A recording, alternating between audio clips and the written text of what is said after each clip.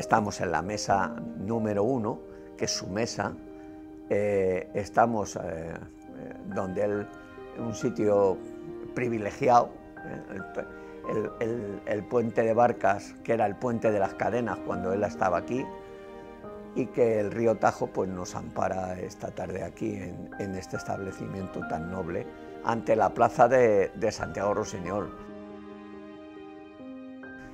hay una transformación de 1905, empieza a transformarse, de tal manera que cuando llegan a hermosearlo tanto, a decentarlo tanto, es un alcalde, Deodoro Valle Grijalva, cuando ya lo tiene casi arreglado, al que un grupo de vecinos le piden que se dé el nombre a esta, a esta institución que nos visita mm, por largas temporadas. Rusiñol fue atraído desde el principio por el vergel, por ese jardín que es Aranjuez. El jardín es un elemento eh, esencial. Aún se conserva la lápida en la fachada de la fonda donde murió Rusiñol, en una de las calles principales de nuestra población, en la calle Estuar.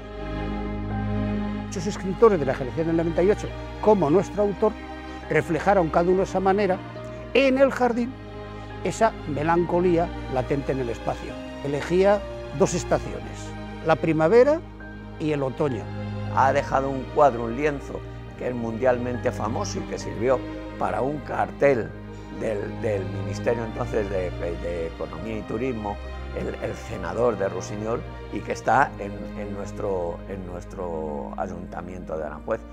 Es en 1925, como digo, cuando se le da el nombre a la calle pero no es hasta en 1930 en el que Pepe Álvarez de la Nieta eh, pidió a Santiago Rusiñol, que estaba fuera, estaba en Barcelona, que viniese porque el pueblo le quería dar un homenaje.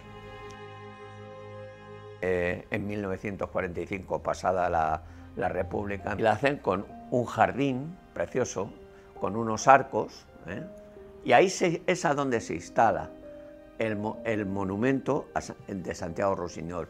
Hay una fotografía que estoy seguro muchos ribereños conocerán. En ella se ve el busto de Rusiñol en su antiguo emplazamiento y un guardacoches que contempla robado, admirado, a nuestro personaje. Y precisamente, y en esto queríamos hacer hincapié, a Rusiñol se le admira como creador de belleza. La primera estancia de Rusiñol en Aranjuez fue a finales del siglo XIX, hacia el año 1898. Y a partir de ahí, Santiago Rusiñol ya no se va de Aranjuez, porque muere en Aranjuez. Él se va y vuelve porque le dice a su hija que quiere venir a morir a Aranjuez. Y un detalle muy delicado, que los jardineros espontáneamente cortaron cantidad de flores y con ellas adornaron la habitación donde reposaba el cadáver, y termina María este testimonio con una eh, expresión que considero muy delicada y bonita. ¿no? no hubo una de sus flores que no fueran a despedirse de él.